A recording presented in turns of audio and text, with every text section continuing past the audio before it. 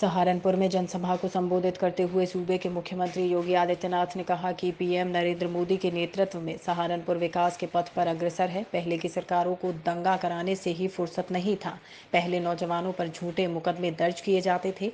बेटियों को लेकर माता पिता चिंतित रहते थे, लेकिन आज भाजपा सरकार ने भय मुक्त वातावरण दिया है।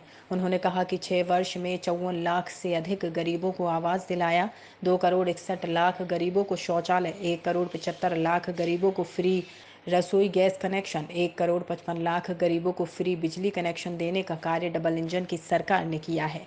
प्रदेश के 10 करोड़ लोगों को प्रधानमंत्री स्वामित्व योजना, आयुष्मान भारत योजना और मुख्यमंत्री जन आरोग्य योजना के तहत पाँच लाख रुपए का सालाना बीमा कवर केंद्र और राज्य की भाजपा सरकारें दे रही हैं। उन्होंने आम जनता से अपील करते हुए कहा कि भ्रष्टाचार और भय मुक्त वातावरण स्थापित करने के लिए प्रदेश के सभी नगर निगम व नगर निकाय प्रत्याशियों को भारी बहुमतों से जीत दिलाएँ।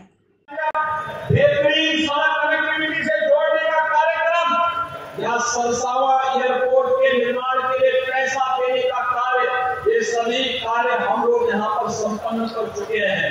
एक आने वाले समय में जैसे आपकी रोड की बेहतरीन कनेक्टिविटी हुई है। ऐसे ही एयर कनेक्टिविटी को लेकर के भी हम लोग आज यहाँ पर कार्य कर रहे हैं। भाइयों बहनों पिछले छह वर्ष के अंदर सहारनपुर जनपद में ही हम लोगों ने हज़ार छह सौ इक्कीस गरीबों को एक एक आवास उपलब्ध करवाने का कार्य किया। प्रधानमंत्री स्वामित्व योजना में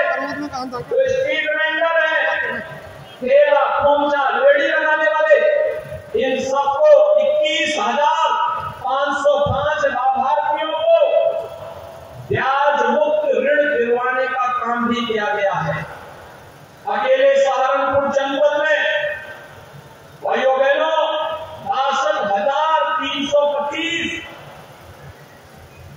निराश्रित महिलाओं को एक हज़ार रुपये, माँ यानी बारह हज़ार रुपए सालाना पेंशन की सुविधा उपलब्ध करवाई जा रही है। सत्रह हज़ार तीन सौ नौ दिव्यांगजनों को बारह हज़ार रुपये सालाना पेंशन की सुविधा उपलब्ध करवाई जा रही है। निर्णय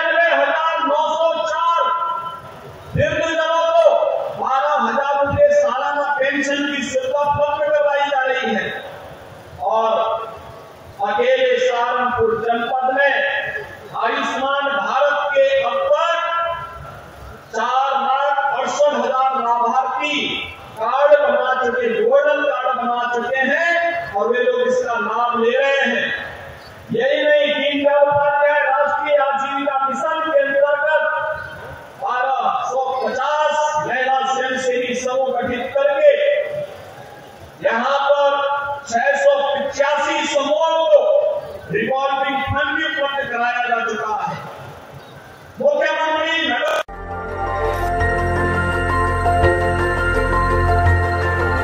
देखते रहिए डीबी भारती समाचार नज़र हर खबर पर।